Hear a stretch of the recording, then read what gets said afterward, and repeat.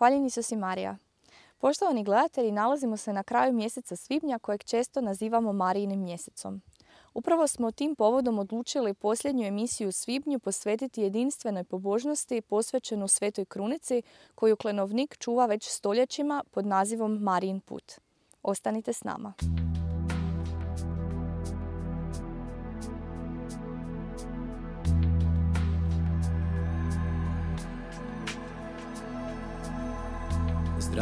Zdravo Marijo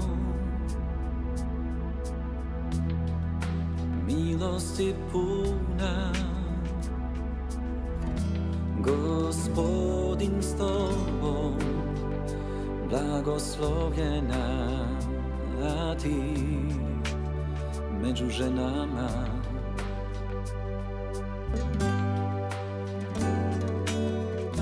I blagoslovljen Utrobe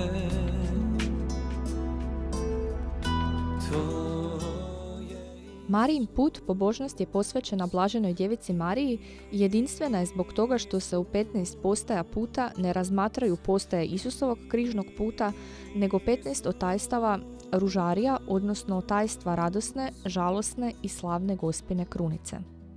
Ovaj put potječe iz 17. stoljeća kada je bio važan hodočasnički događaj. Zbog raznih povijesnih događanja, tradicija ove pobožnosti bila je prekinuta, no ponovno je oživljena 2008. godine.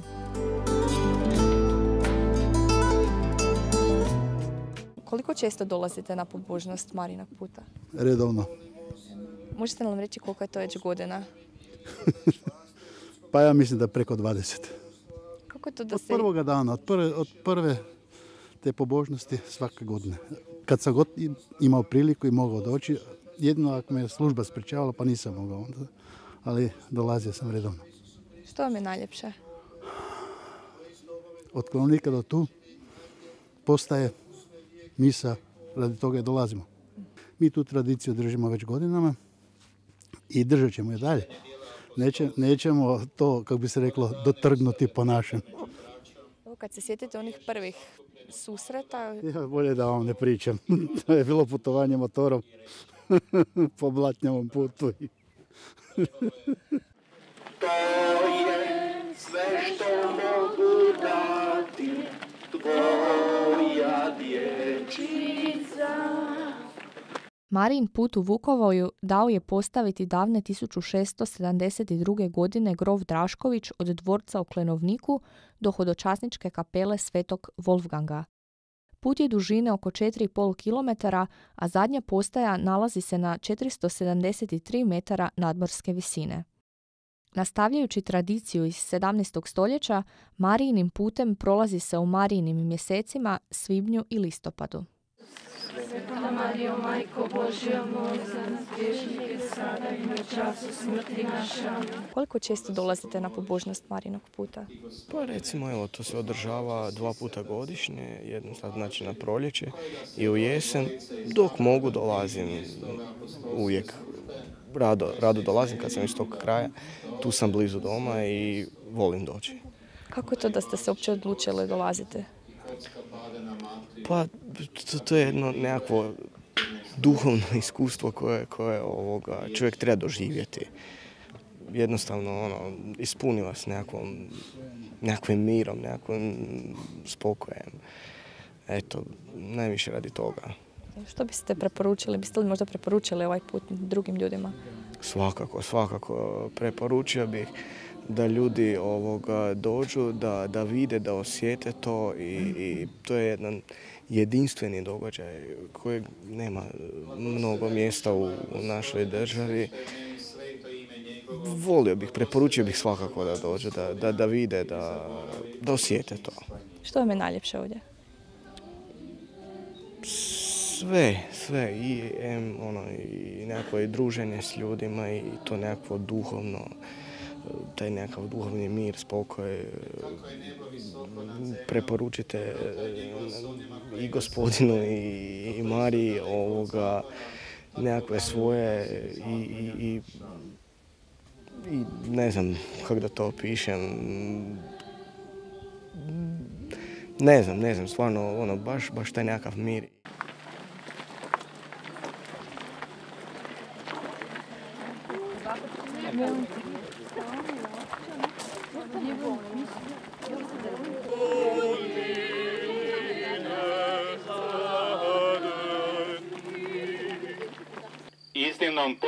Povlasticom uznesena je djevica Marija tijelom i dušom u nebo.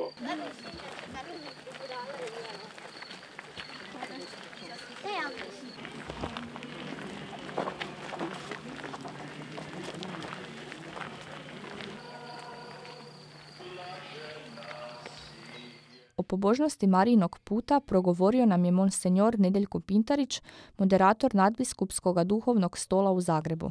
Rekao nam je nešto više o tijeku dosadašnje obnove Marijina puta, ali i rekao zašto sam voli ovamo dolaziti. Ja sam tu rodom iz Župe Klenovnik, a upravo u ovoj kapeli na jednoj oltarnoj kartuši na oltaru Majke Božije piše da su tamo u 17. stoljeću članovi bratovštine Svetoga Wolfganga podigli ovaj oltar Blažene djevice Marije Kraljice.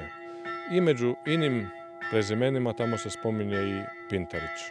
Tako da mi je evo to gotovo bi rekao onako pravi krsni list cijele, cijelog obiteljskog stabla. I evo, drago mi je uvijek navratiti u, u roditeljski dom i u kraju kojem mnogo toga ima lijepoga.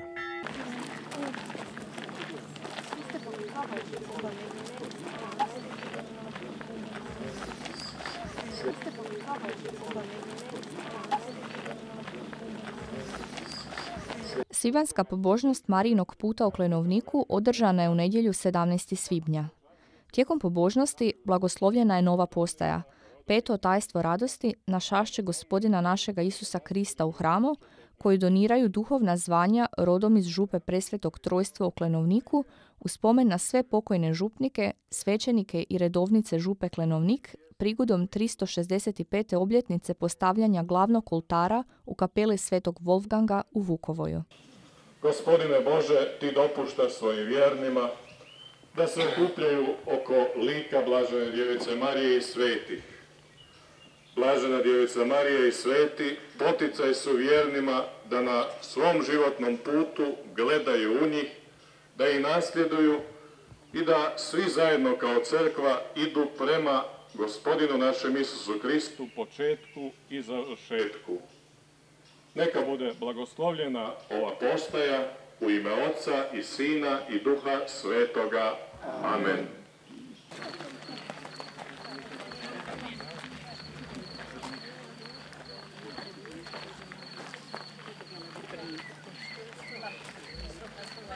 Koliko često dolazite na pobožnost Marije? Pa dolazim svaki put, ako je mogućnost. Kako to da ste se danas odlučili doći? Pa imam jednu nakanu. Što vam je ovdje najljepše? Pa lijepa mi je i priroda i molitva i, i tu nalazim nadahnuće za dalje, za cijeli život.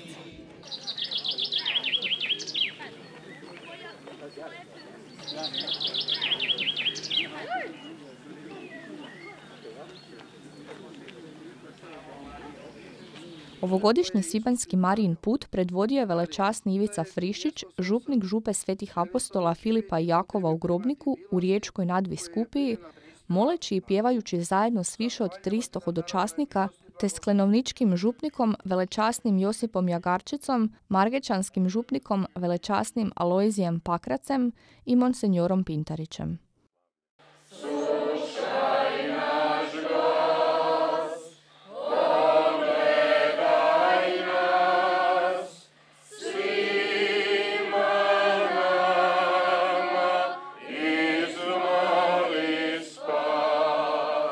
Sama vjera je zapravo i uspinjanje. To je hod. A ovdje krenemo dolje, bi rekli, s e, nadmorske visine nula ili koji metar više i dođemo ovdje na 450 metara i kroz e, različite i ravne ceste, i zavoje, i uspone, i nizbrdice. Zapravo to je slika života. I mislim da se tu ljudi pronalaze da kroz tu sliku života e, i sami doživljavaju i vide da nije život samo ravna crta, nije samo jedna linija, nego baš onako kako Bog bi rekao onim krivudavim crtama piše ravno i povijest i evo ljudsku dimenziju života koja u vjeri dobiva onu puninu i svoj smisao.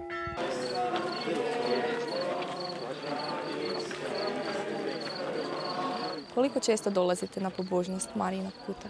E, Zapravo svaki put kad se održava neko proštenje, uvijek smo tu. Kako to da ste se danas odlučile doći? E, Pa to nam je nekako zapravo već normalno da Običaj. idemo. Da, običaj. Tradicija, znači, pošto smo iz Klenovnika, zapravo rastemo sa svim tim e, događanjima u župi, tako da smo obavezno tu. Što vam je najljepše nekako? Pa ne znam, sami ambijent, e, priroda, društvo, sve, sve zajedno. Koli- Koliko je sada već to prošlo godina od kako dolazite? E, Pa već ima... Od djetinjstva. Od djetinjstva, znači kad smo bili ma- male, bili smo ministranti u crkvi i zapravo tako i tu dolazimo. Od kad se zapravo počelo sve to više događati, sva ta događanja vezana uz samo, e, samu crkvu i događanja ovdje okolo. Znači ima već jedno 15 Možda i i više, 20 godina. Da se sjećate onih prvih puta kad ste bile ovdje? Pa prije je bilo sve dosta e, manje organizirano, bilo je puno manje ljudi. Sad je već to prava organizacija I i, više ljudi, da. tradicija. Već tu dolaze zapravo stalni gosti, kako bi to nazvali. Znači, ne znam, iz okolnih župa, Višnica, Voća, Ivanec. I nekako uvijek svi dovedu i svoje društvo. Znači, na primjer, tako smo i mi znali isto neko svoje društvo dovesti, onda se im dopadne, onda oni već nekog drugog dovedu, tako da bude dobro.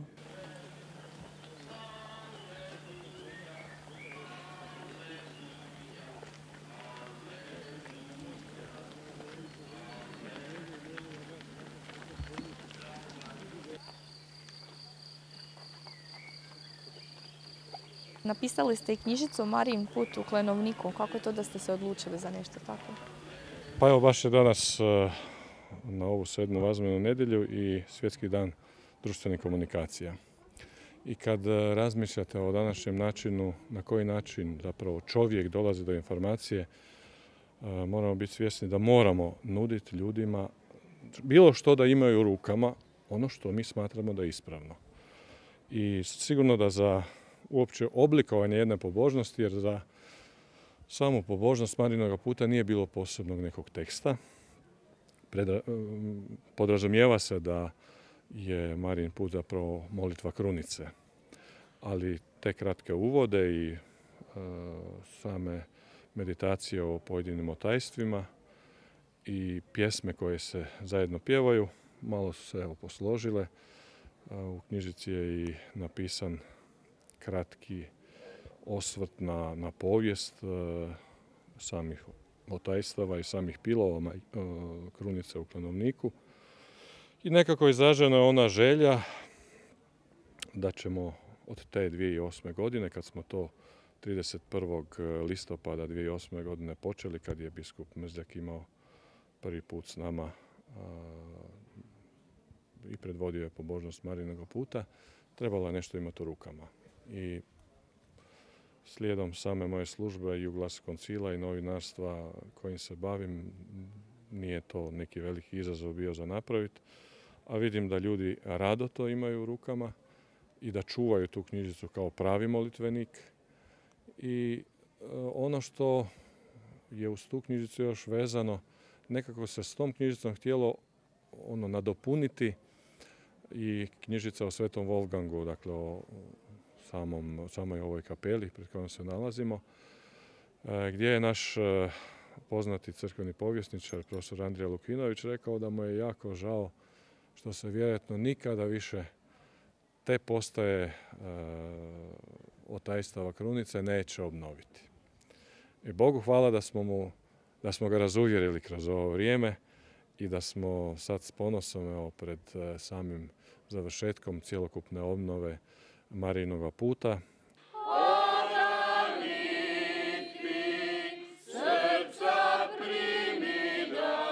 Tijekom stoljeća postaje su Marijina puta dotrajale, zapuštene, a neke su i nestale. 2008. godine započela je obnova 15 kamenih postaja otajstva Krunice iz 17. stoljeća.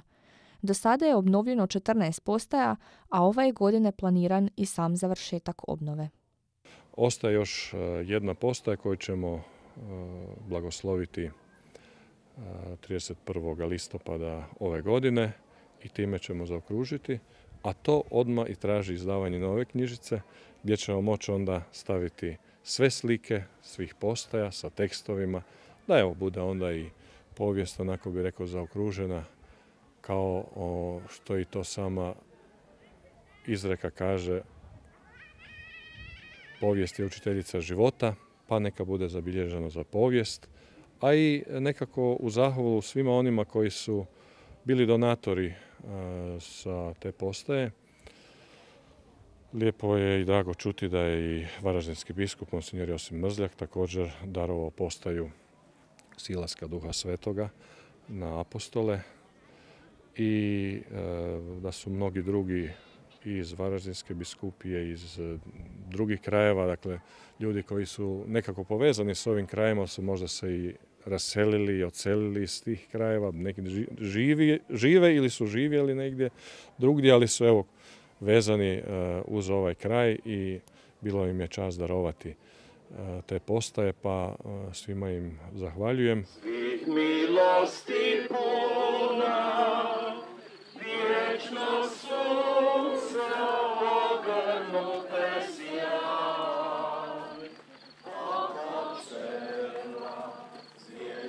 Po završetku Marijinog puta u kapeli Svetog Wolfganga, koja je najstariji sakralni objekt župe Klenovnik, misno je slavlje predvodio velečasni Friščić, a župnik Jagarčić zahvalio je svima koji su sudjelovali na toj svibanskoj pobožnosti. Budući da je mjesec svibanj posvećen majkama, sve majke s djecom dobile su na dar keramičkog anđela rad članova zajednice Čenakolo. Okupljeni su nastavili svoje druženje ispred kapelice i nakon mise.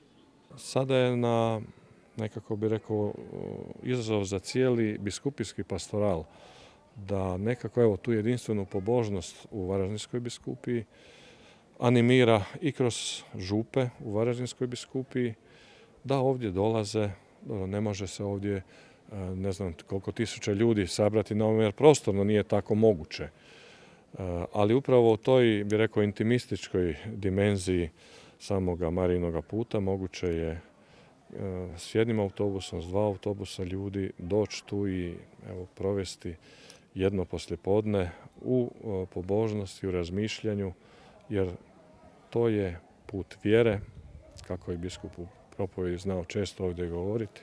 Marijin put je put vjere, pa i put vjere koji svakoga može dovesti do novih spoznaja, do novih e, zauzimanja za kraljestvo nebesko već sada ovdje na zemlji.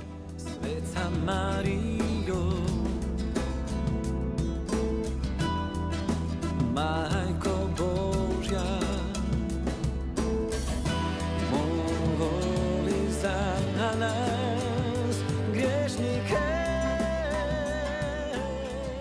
Poštovani gledatelji, u današnjoj smo emisiji imali prilike čuti nešto više o pobožnosti koja se prakticira u Klenovniku te vuče korijene iz davnih vremena, a pomalo nam je nepoznata. Možda su vas upravo kadrovi i riječi vjernika iz današnje emisije potaknuli da se odvažite i sami doživite jedno posebno iskustvo marijanske pobožnosti. Pozdravljam vas s riječima povjesničara i arhivista Andrija Lukinovića koji opisuje Marin put ovako. U prekrasnom okolišu zelenih zagorskih brega hodočasnici su moleći krunicu na svakih 300 metara dolazili do novih prikaza otajstva Svete Krunice. Uranjajući u radost, žalost i slavu Isusa i Marije, pobožna je duša nalazila uzroke vlastite radosti, snagu u osobnoj tuzi i nadu u konačnu slavu, a gore na cilju puta pronalazila sliku raja. Srdačan pozdrav!